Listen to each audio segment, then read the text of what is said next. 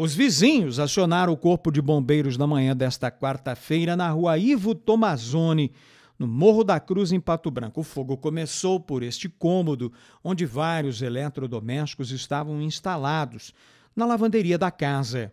Vários utensílios e até algumas bicicletas da família foram destruídas no incêndio. Quando os bombeiros chegaram, havia muita fumaça.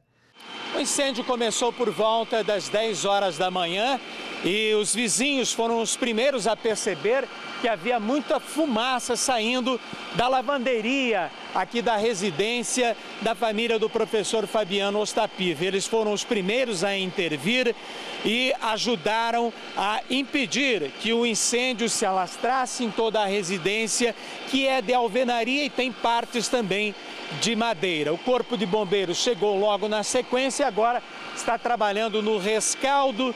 Graças a Deus, ninguém se feriu.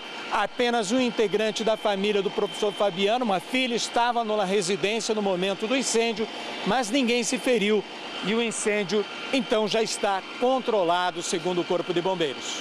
Foi realizado o combate desse primeiro cômodo para a gente poder acessar os demais e após uh, o controle desse primeiro cômodo, adentramos aos demais, onde verificamos que havia apenas fumaça. O fogo ainda não havia se expandido. Então, realmente, a parte em que queimou é apenas o primeiro cômodo de entrada, mas foi controlado, o restante de, de, de toda a edificação foi é, preservado. O professor Fabiano Ostapivo e sua esposa estavam em sala de aula quando o incêndio aconteceu.